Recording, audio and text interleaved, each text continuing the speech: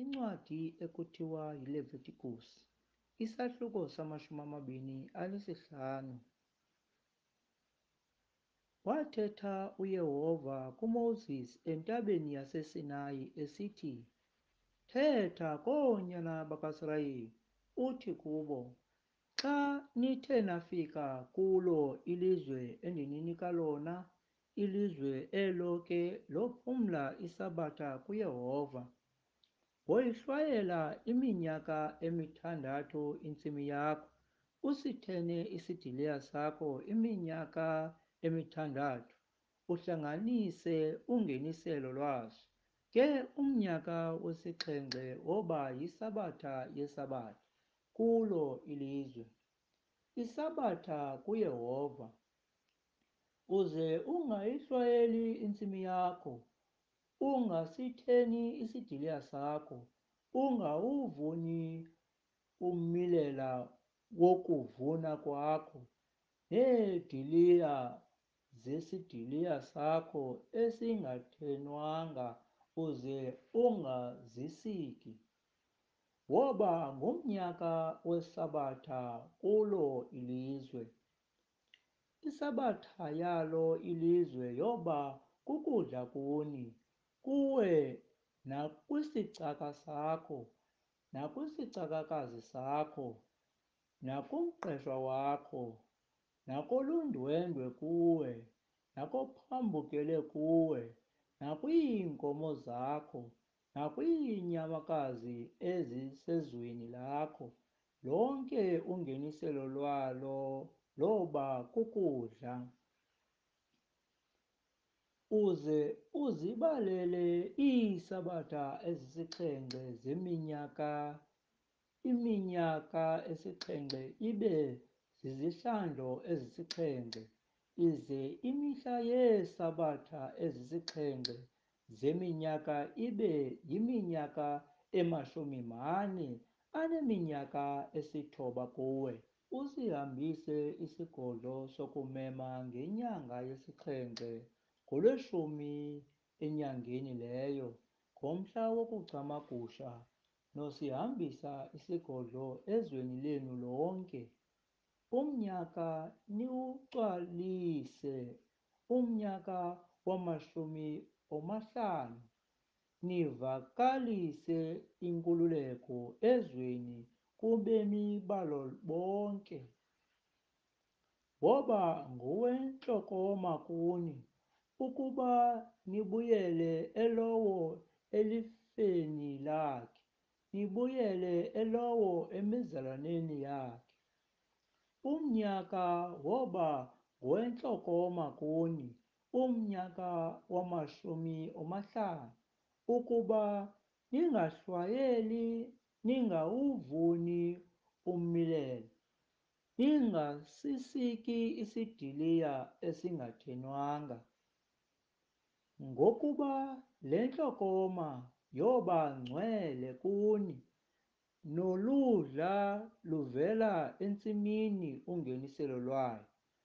Ngalo mnyaka wentlokoma nobuyela elowo elifeni lakhe. Xa nithe nathengisa ngento ethengisayo kummelwane wenu, naxa uthe wathenga esandleni sommelwane wakho, musani ukuba ndezelana. Wothenga wena kummelwane wakho ngokwenani leminyaka emva komnyaka wentlokoma, wothengisa yena kuwe ngokwenani leminyaka yongeniselo. Ngokobuninzi beminyaka wolandisa ixabiso layo, nangokobuncinane beminyaka wolinciphisa ixabiso layo, ngokuba ethengisa kuwe ngenani longeniselo.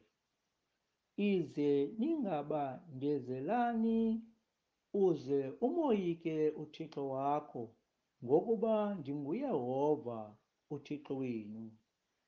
Ize niyenze imimiselo yam, niwagcine amasiko am, niwenze.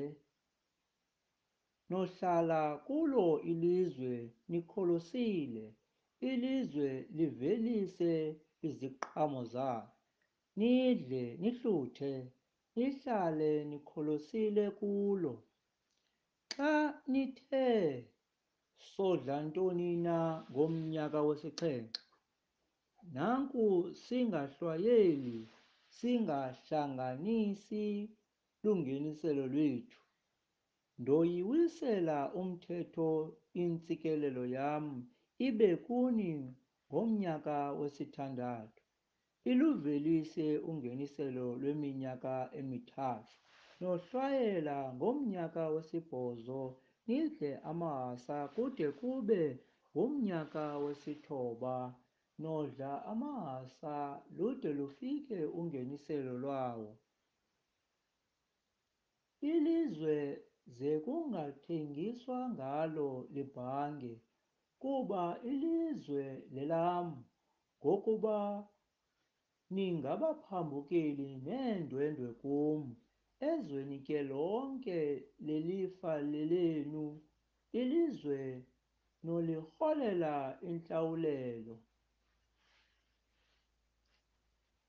Xa athe umzalwana wakho wanzonza wathengisa ngento yelifa lakhe makeze owalamana naye ofanele ukumkhulula ayikhulule ngokuyihlawulela loo nto wathengisa ngayo umzalwane wakhe. Umntu xa angenabani wokumkhulula sibe sinokufikelela isandla sakhe sifumane okulingene ukuzikhululela ngentlawulelo wobala iminyaka yokuthengisa kwakhe abuyisele okugqithisileyo kuloo mntu wathengisa kuye abuyele elifeni lakhe. Ukuba isandla sakhe asinakufumana okulingene ukubuyisela kuye loo nto wathengisa ngayo yohlala esandleni salowo uyithengileyo kude kube ngumnyaka wentlokoma. Yophuma ngowentlokoma abuyele elifeni lakhe. Umntu xa athe wathengisa ngendlu yokuhlala isemzini onodonga yoba nokukhululwa ngentlawulelo ude uphele umnyaka wokuthengiswa kwayo yoba ziintsuku ezithile isenokukhululwa ngentlawulelo. Ukuba ithe ayakhululwa ngentlawulelo wada wazaliseka waphela umnyaka yoqiniselwa kuphele indlu esemzini onodonga kulowo wayithengayo ezizukulwaneni zakhe. Ayikuphuma ngomnyaka wentlokoma ke izindlu zemizana engayibingelwanga ngeendonga zobalelwa ekuthini ngamasimi alo ilizwe zoba nokukhululwa ngentlawulelo zona ziphume ngomnyaka wentlokoma. Ke imizi yabalevi izindlu zemizi yelifa labo zoba nokukhululwa ngentlawulelo nanini kubalevi. Ethe yathengwa kubalevi indlu ekuthengiswe ngayo emzini welifa lakhe yophuma ngomnyaka wentlokoma ngokuba izindlu zemizi yabalevi zililifa labo phakathi koonyana bakasirayeli ilizwe lendlelo lemizi yabo makungathengiswa ngalo ngokuba lilifa elingunaphakade kubo.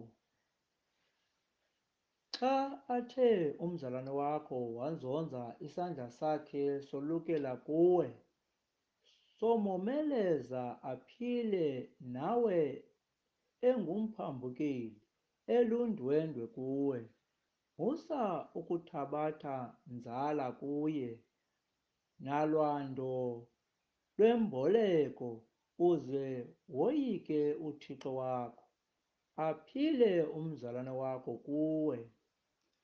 Imali yakho uze ungamniki ngenxa yenzala, ungamniki ukudla kwakho ngenxa yolwando lwemboleko.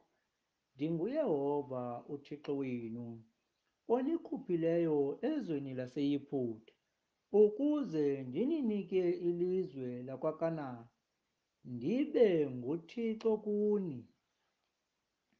Xa athe umzalwana wakho wanzonza ekuwe, wazithengisa kuwe, uze ungamkhonzisi ngokukhonza kwekhoboka, woba njengomqeshwa njengolundwendwe kuwe, wokukhonza kude kube ngumnyaka wentlokoma, aphume kuwe enabantwana bakhe, abuyele emizalwaneni yakhe, abuyele elifini lekayise, ngokuba ngabakhonzi bam abo. Endibakhuphileyo ezweni laseYiputa. Makungathengiswa ngabo ngokuthengiswa kwekhoboka, uze ungamphathi ngokutyumzayo uze woyike uThixo wakho. Ikhoboka lakho nekhobokazana lakho la akuwe, oba ngabasezintlangeni eziningqongileyo, nothenga kuzo ikhoboka nekhobokazana. Kanjalo koonyana babaziindwendwe kuni, abaphambukele kuni, nothenga kubo nasemizalwaneni yabo ekuni, abayizalele ezweni lenu, babe lilifa kuni, nobenza babe lilifa koonyana benu emva kwenu, ukuba babathabathe babe lilifa nibakhonzise ngonaphakade. Ke bona abazalwane benu, oonyana bakaSirayeli, mabangaphathani ngokutyumzayo xa sithe isandla somphambukeli nolundwendwe kuwe satyeba ekuwe, umzalwane wakho wanzonza ekuye, wazithengisa kumphambukeli olundwendwe kuwe, nakumlibo womzalwana womphambukeli, woba nokukhululwa ngentlawulo emva kokuzithengisa kwakhe. Omnye kubazalwana bakhe womkhulula ngentlawulelo, nokuba nguyisekazi, nokuba ngunyana kayisekazi, womkhulula ngentlawulelo, nokuba ngowenyama yenyama yakhe emizalwaneni yakhe, womkhulula ngentlawulelo, nokuba isandla sakhe sithe satyeba, wozikhulula ngokwakhe ngentlawulo.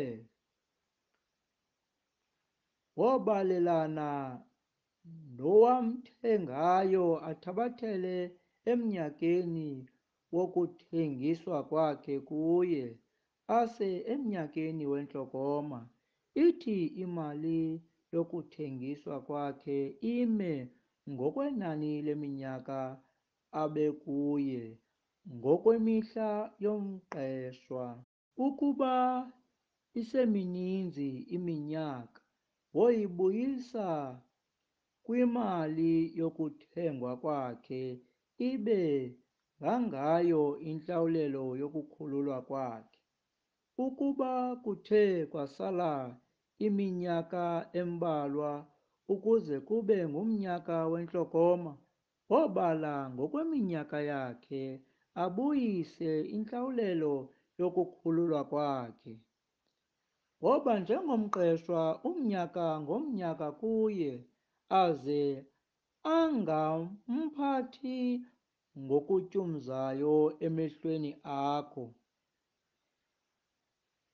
Ukuba uthe akakhululwa ngentlawulelo ngabo abo, wophuma ngomnyaka wentlokoma, yena enabantwana bakhe.